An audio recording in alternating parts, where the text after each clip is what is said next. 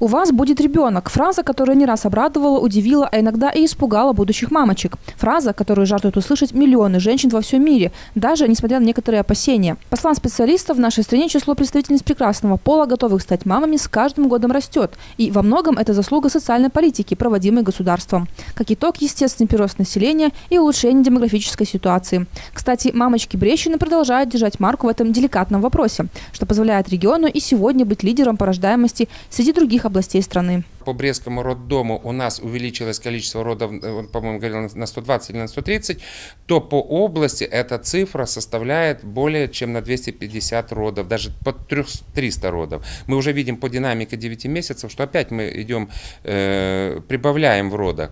И э, у нас в прошлом году родилось 18 э, 200 э, детей. И это оказалось на 250 больше, чем в 2012 году. То есть мы, вот это дало нам нам положительный момент. Физическая и психологическая зрелость будущих родителей – один из столпов, на которых держится здоровье будущего малыша и семьи.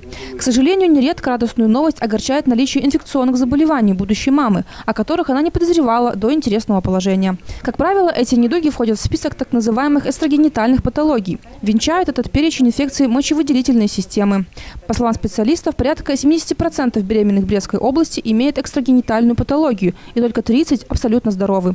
Поэтому, чтобы счастливый период в интересном положении не прошел в больницах и на приемах у врачей, к нему следует тщательно готовиться.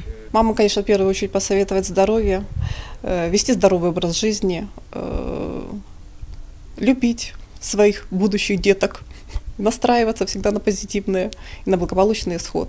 Все очень зависит от того, насколько э, женщина настроена на исход своей беременности. Однако, даже если беременность протекала с осложнениями и малыш родился слабеньким, волноваться молодой маме не стоит, поскольку современная медицина помогает восстановиться роженице и окрепнуть малышу. На сегодняшний день процент выхаживания деток с массой до килограмма, с, массой, с экстремально низкой массой тела у нас составляет 75%. В принципе, это довольно высокий показатель. Это такой же показатель у нас в целом идет по республике.